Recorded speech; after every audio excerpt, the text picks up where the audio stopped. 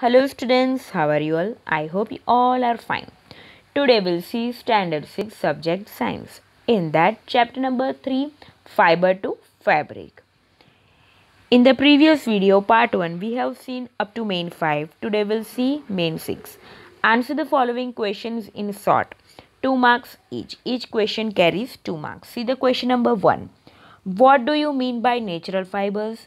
State its types State its types with example. Answer is fibers that are obtained from plants and animals are called natural fibers. There are two types of natural fibers. Number 1 plant fibers example cotton and jute. Number 2 animal fibers example wool and silk. Now see the next page. Question number 2 How is jute obtained from jute plant? Answer is Jute plant is cultivated during the rainy season and is harvested when it is at flowering stage. The stem of the harvested plant is immersed in water for a few days. The stems rot and the fibers are separated by hand. These fibers are collected and dried. Question number 3. What are the uses of silk fibers and wool fibers? Answer is Silk fibers are used to make silk cloth. Silk cloth is used for making costly saris, kurtas, scarves, ties, etc. Wool fiber is used for making sweater, cap, muffler, shawl, socks, gloves, etc. See the question number 4. What are the uses of jute fibers and cotton fibers? Answer is Jute cloth is made from jute fibers this cloth is used in making gunny bags and carry bags. It is, it is used for making doormats, rope, mats, etc. Coconut fibers are used for making ropes, mats, doormats, and charpoy. Now see main 7. Give two points of difference. Distinguish between. It carries 2 marks each. Number 1. Distinguish between cotton fibers and jute fibers. Point 1 is cotton fiber is obtained from the fruit of cotton plant and in jute plant, jute fiber, jute fiber is obtained from the stem of the jute plant. Point 2 cotton fiber, it is used for filling mattress, pillow and making cotton cloth and jute fiber, it is used for making gunny bags, ropes, mats and doormats. Now see the next page. Now see the number 2 distinguish between spinning and weaving. Point 1 in spinning. Spinning is the process of making yarn from fibers. And point 1 in weaving. Weaving is the process of making cloth from yarn. Number 2. Hand spindle and charkha are used for spinning and in weaving loom is used for weaving. Now see the main 8 classify the following fibers as natural or synthetic. It carries 4 marks. First of all, we will see the fibers nylon, wool, cotton, acrylic, silk, polyester, jute, and terylene.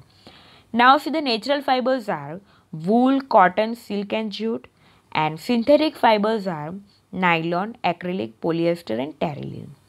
Now, see the main nine. Match the following. Write the alphabet from section B in the answer. It carries two marks. First of all, we will see the uh, section A.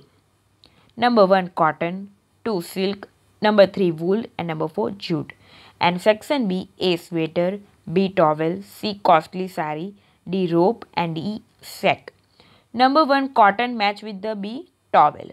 Silk match with the C costly sari. 3 wool match with the sweater and fourth one jute match with the sack. Now see main 10. Answer the following questions in details it carries 3 mark each. Number 1. How is fabric woven from yarn? Answer is cloth is woven from yarn using either power operated looms or hand operated looms. Yarns are arranged close to each other in straight lines on a loom and then another set of yarn is passed to form a crisscross pattern.